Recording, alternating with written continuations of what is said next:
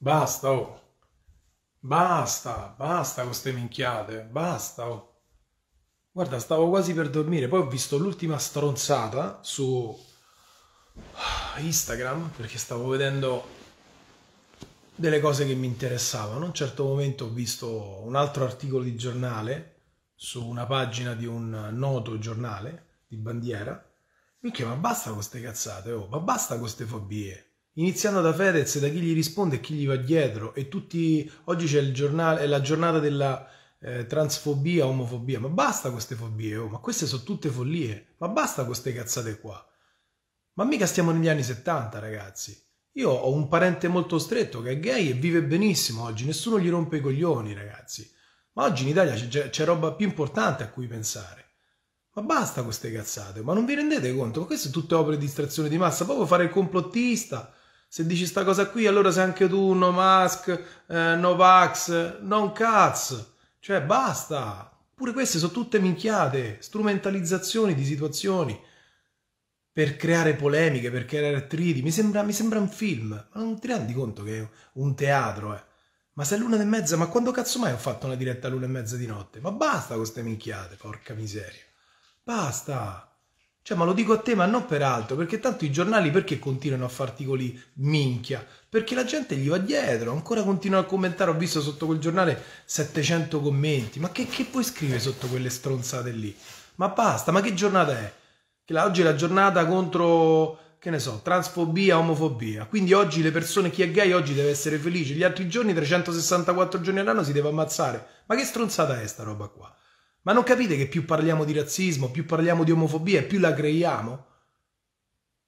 Eh? Ma chi è che ha creato il razzismo nel mondo? Ma pensaci un attimo, come è nato il razzismo? Ma già che ho visto un po' di roba che succedeva nei primi Novecento, ma anche più avanti in America, che proprio lo Stato faceva due fontanelle, una per i bianchi, una per i neri, posti sull'autobus, una per i bianchi, una sui neri, scuola per i neri, scuola per i bianchi ma uno Stato che permetteva una cosa del genere. Quello era un razzista, non la gente che poi si picchiava.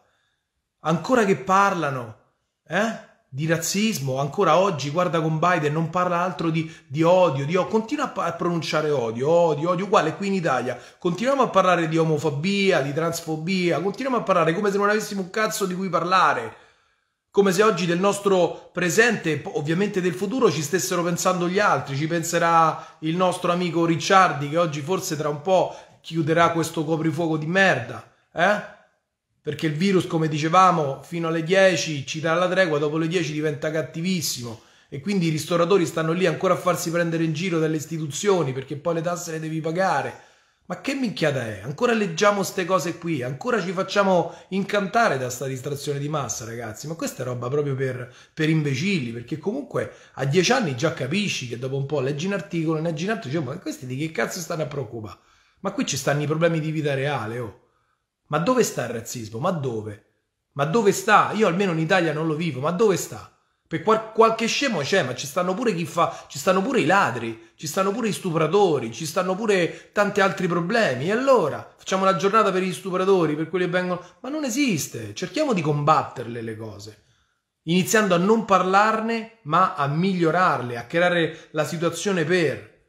Qui sta diventando un problema eh? occuparci dei problemi reali. Dobbiamo pensare alle stronzate, dobbiamo pensare alle minchiate che non significa non interessarsi della materia di omofobia o transfobia, significa occuparci dei problemi che oggi l'Italia ha, perché non so se te lo ricordi, a maggio dell'altro anno senza vaccini andava tutto bene, tutto riaperto, tutto a posto, eh? Nessuno ha pensato un cazzo, siamo arrivati a ottobre, a novembre ci hanno richiuso tutti quanti. E ci sono persone come i professionisti, come eh, gli attori, come quelli che stanno appresso nel mondo degli attori, che sono 15 mesi che non lavorano, elettricisti, eh, eh, che ne so, facchini, macchinisti, eh, operatori, tutti, ma perché? Gli attori stessi di teatro, adesso riaprono ma con un terzo della capienza nei teatri. Ragazzi, ma sta questa è roba reale, oh, ma c'è gente che non ce la fa a mangiare. Magari la sovvenzione c'è stata per un, per un teatro, ma non l'hanno data a chi mangia con, con, con, con, realmente con la parte che fa, ovvero un attore. E di che stiamo parlando? Stiamo a pensare oggi alla giornata mondiale dell'omofobia, ma di che? Ma di che? Ma perché c'è qualcuno qui in Italia che perseguita i trans o, o, i gay? Ma non è vero nulla, ragazzi. Io vivo, oggi siamo nel 2021, io sta roba qui, ma neanche nel 2000 c'era. Forse ha vissuto qualcosa di brutto Renato Zero, tanta gente negli anni 70, ma oggi, oggi è normale, è normalità, ognuno è libero di fare quello che vuole e va bene così. Ma pensiamo oggi ai problemi veri che c'ha una nazione come questa, pensiamo ai problemi veri che c'ha un mondo come questo, iniziando a capire che cosa succederà a giugno, cosa succederà a luglio, cosa succederà a agosto, se verranno o no sti cazzo di stranieri. I turisti parlo, eh? i turisti a spendere un po' di soldi perché per noi è una grande entrata. Che succederà a settembre-ottobre? Ci richiuderanno? Funzioneranno sti vaccini? Perché fino adesso non hanno funzionato, perché siamo stati chiusi come l'altro anno, fino a maggio. Quindi quali saranno oggi le azioni che lo Stato farà per far sì che la scuola andrà bene, non dovremo più comprare eh, tavoli che non servono un cazzo, banchi di merda a rotelle? Andrà tutto bene? La didattica a distanza fa bene? Un piano per il sostegno di tutti gli studenti, perché realmente la DAD fa danni a destra e a sinistra. C'è? C'è un piano di sovvenzione per tutti?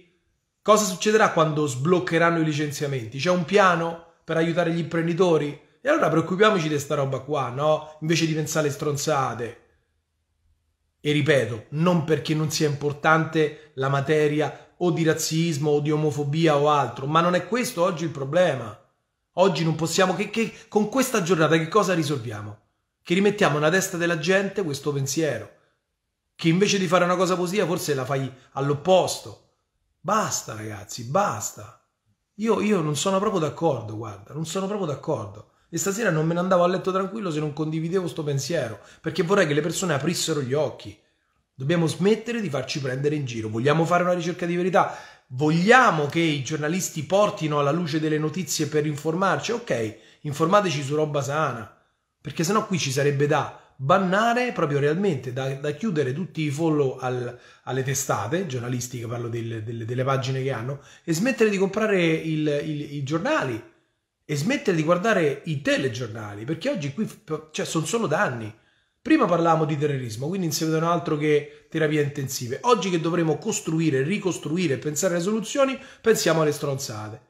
Io, boh, guarda, sono veramente esterrefatto. Io, io quello che ti dico, ti do la mia. Ti dico realmente chiudiamo con questa disinformazione. Altro che fake news. Qui stanno bombardando, anche una persona sana qui diventa deficiente. Cioè, veramente, qui anche una persona sana con sale in zucca cioè uno che vuole costruire una famiglia, vuole crearsi un'attività, essere riconosciuto, sentirsi soddisfatto, amare la propria famiglia, vedere il futuro, ok? E quindi vedere eh, serenamente un futuro. Per me anche quello più, più equilibrato va fuori di testa, ragazzi. Dopo 15 mesi così, oggi incominciamo a tirar fuori altri problemi dall'America par- parlano di sto cazzo di razzismo e di qua rompono i coglioni con questa omofobia perché Fedez se ne cita questa roba che se la poteva pure risparmiare perché i problemi, ripeto, qui sono altri e lui lo sa e qui chiudo il discorso perché non mi va di far polemica però oggi dai basta oh ma oh, basta ste cazzate no? quando è che diventiamo un po' adulti noi parlo noi italiani io ce l'ho con te non ce l'ho con chi scrive gli articoli possono scrivere come gli pare anche se per me andrebbero rivisti e revisionati, perché libertà senza censura mi sta bene. Però quando tu sei una, eh, una testata di bandiera, quando sei un giornale importante, quando sei un telegiornale importante, tu non puoi dire, dire, le cazzate, cioè non puoi bombardare le persone o distogliere le persone da qualcosa di importante. Per me ci dovrebbe essere una linea guida. Quindi per me non si tratta di censura, ma si tratta di buon senso. Andrebbe applicato un buon senso. E quindi oggi, in un momento come questo, il buon senso è preoccuparci o occuparci immediatamente in questo presente del nostro futuro, iniziando a capire che cosa succederà, pianificando da qui al prossimo anno.